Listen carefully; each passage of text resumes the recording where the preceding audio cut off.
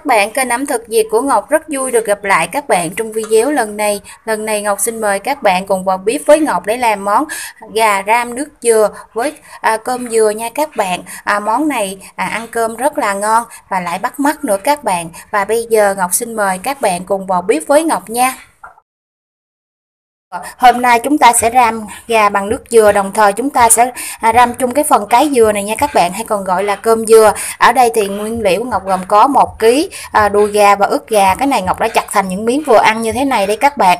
À một trái cơm dừa, à, một muỗng cà phê bột niêm, một muỗng cà phê bột ngọt, một muỗng cà phê đường, một muỗng canh tỏi ớt, hai muỗng canh tương ớt, một muỗng canh dầu hào và để à, gam gà, gà thì chúng ta không thể thiếu dừa nha các bạn. Ở đây Ngọc dùng một trái dừa tươi ha và hai muỗng canh nước tương và bây giờ chúng ta sẽ bắt đầu sơ chế tất cả các nguyên liệu để chúng ta à, gam gà gà nha các bạn. Các gia vị chúng ta đã hòa lẫn vào nhau như thế này. Sau đó thì các bạn sẽ cho vào gà nha. Chúng ta sẽ ướp phần gà này cho hết cái phần gia vị vào nha các bạn.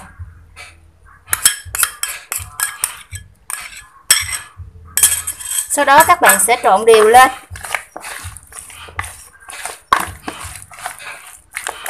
Và chúng ta sẽ để cho gà thấm trong vòng 15 phút trước khi chúng ta đi uh, gam gà nha các bạn gian chờ cho gà chúng ta thấm gia vị thì chúng ta sẽ sơ chế phần dừa. Đối với phần dừa này thì các bạn cắt thành những miếng khoảng bề ngang khoảng 2 phân rưỡi bề dài thì à, khoảng 3 đến 5 phân nha. Để khi chúng ta gam à, chúng ta cho vào nó sẽ thấm gia vị nó sẽ ngon nha các bạn. Và tương tự thì chúng ta sẽ làm hết cái phần cơm dừa này nha.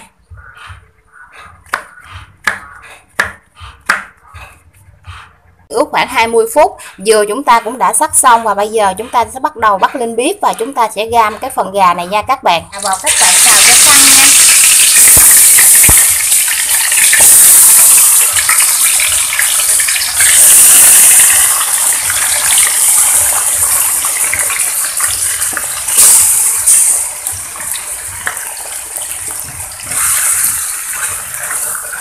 Chúng ta sẽ xào thật là săn phần gà này, trước khi chúng ta cho nước dừa vào nha các bạn. Gà chúng ta sau khi nó đã săn như thế này rồi các bạn, thì bây giờ chúng ta sẽ cho một trái dừa tươi vào nha. Gà của chúng ta bắt đầu sôi rồi các bạn, thì các bạn sẽ đảo đều, sau đó các bạn sẽ cho cái phần cơm dừa vào nha.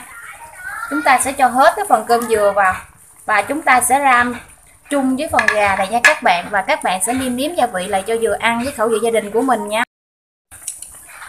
Chúng ta sẽ trộn đều cái phần cơm dừa này cho nó thấm gia vị cùng với phần nước ờ, dừa gam nha các bạn.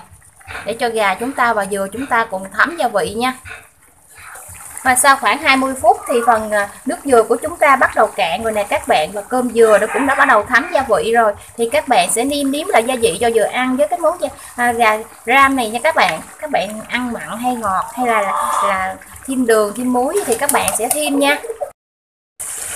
Và cái phần gà của chúng ta bắt đầu cạn. Bây giờ chúng ta sẽ tắt bếp và cho ra dĩa nha các bạn các bạn ơi, món gà ram nước dừa của chúng ta đã hoàn thành rồi đây các bạn. À đây là cái phần cơm dừa này các bạn, các bạn nhìn xem nè, chúng ta ram nó rất là à, mềm và nó vàng thấm gia vị như thế này này các bạn. Còn phần đùi gà thì rất là mềm và thơm.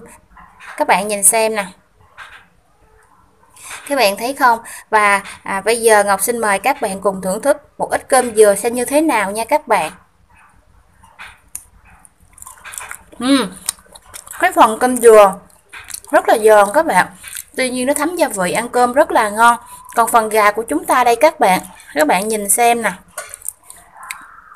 Phần thịt gà rất là vàng nha các bạn, và thấm đậm gia vị nữa các bạn. Cái này ăn cơm nóng rất là ngon và Ngọc hy vọng rằng sau video này các bạn sẽ làm cho gia đình món à, gà ram nước dừa thật là ngon. Ăn kèm với nó có cơm trắng hoặc là bún nha các bạn. Chúc các bạn thành công và mong rằng các bạn sẽ đăng ký bên dưới để khi video Ngọc đăng lên thì các bạn là người đầu tiên xem video này nha. Hẹn gặp lại các bạn vào video lần sau nha.